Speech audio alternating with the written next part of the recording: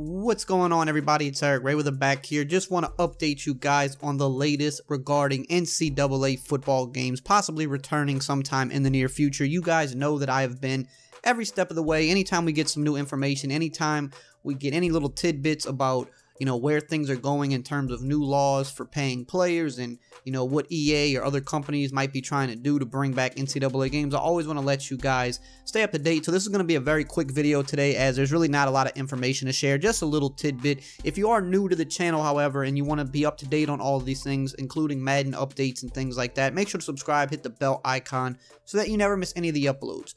So you may remember few weeks ago I did a video. I'll have it uh, linked below in the comments and in the descriptions if you haven't seen it yet. Basically talking about a new bill that the California governor was able to pass. Uh, basically allowing college athletes to be compensated for their name, image, and likeness. Um, you know, starting in the near future. Now, this doesn't mean that universities themselves would actually be paying players as if, like, you know, under a salary, but meaning that, you know, when you play college football, like you can't make any money off of your name, image, and likeness as it stands right now with the NCAA, or you will you wouldn't be eligible to play.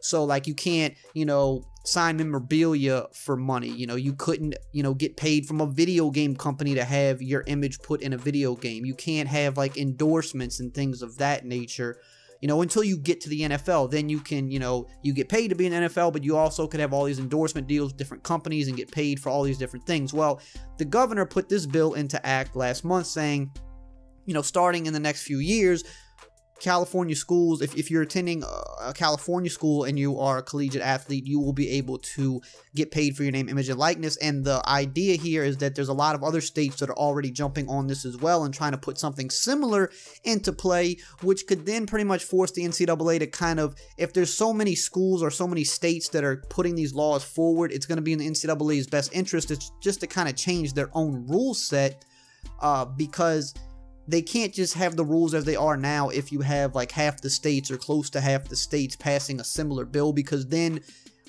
all of the colleges in those states wouldn't be eligible for bowl games and things like that and that would just cause a big mess. So if enough push happens with this bill in other states which it looks like it has a chance to happen the ncaa is going to have to kind of adjust some things because it, it just would be a big mess for them. So with all this coming to light recently uh, the ceo of ea andrew wilson um, came out and made a statement at the WSJ uh, Tech Live conference recently. And he basically said, you know, if the NCAA determines how to compensate players for use of their digital likeness in such video games, he said, quote, we would jump for the opportunity to get back into the college game business. Um, he said, you know, previously they've made, you know, the basketball games, which the basketball games stopped a lot earlier than the football games. So not really sure if the basketball games would come back, but the football games would absolutely come back because they did very well. And, um, you know, he's saying, I think there are many, many, maybe even millions of, of players who hope that we can get this game back. And, you know, if we have the chance, we're going to jump at it. So it is good to at least hear that because, you know, let's say that the NCAA changes their rules which I mean, we're headed in that direction in some capacity because it's just been such a big thing for a long time now. There's going to be adjustments made at some point in the near future. And, you know, just because that happens, that didn't necessarily mean that any company would want to jump back in and make a game because it's very expensive. Um, and, from being off the shelf for so long, you know, is the interest still there? Would it like they have to weigh like how much is the interest there in terms of the money they got to invest and what they can make back on it? Because if you remember, you know, like 2K for example, they stopped making their NCAA games long before EA was forced to stop making theirs due to the lawsuits of former players. Because 2K at the time didn't find it profitable enough and it's kind of the same thing with NFL games. Even if another company were to make an NFL game, the audience isn't quite big enough to really sustain two games. It's why you see a lot of sports games now. You know, 2K stopped making NHL games and MLB games and things like that. They didn't have to at the time, but they did because there's just, it's hard for multiple sports games to kind of compete nowadays because the licensings are so expensive and things like that.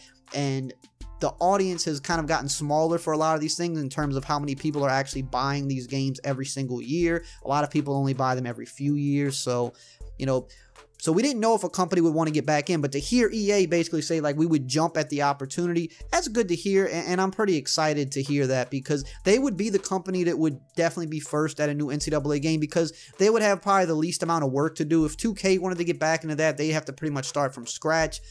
You know, EA would maybe be able to kind of pick off pick up somewhere where they left off or you know because they already they, they still make a current football game in madden they have some things in place like an engine and things like that where it might not be as hard for them to start back up as it would be for another company. So if these rules you know do go into effect in the next couple years and NCAA makes some adjustments, we, we will definitely be seeing an NCAA football game back, if nothing else. It would be from EA.